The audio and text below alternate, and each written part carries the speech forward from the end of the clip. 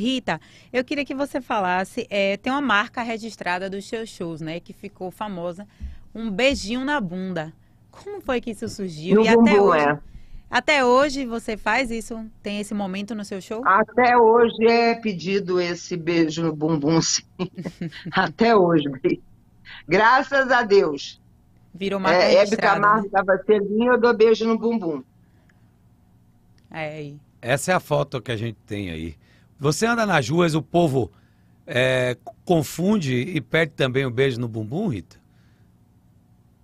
Olha, não, a pessoa, acho que hoje em dia eles já sabem distinguir da Rita Cadillac e da Rita de Cássia.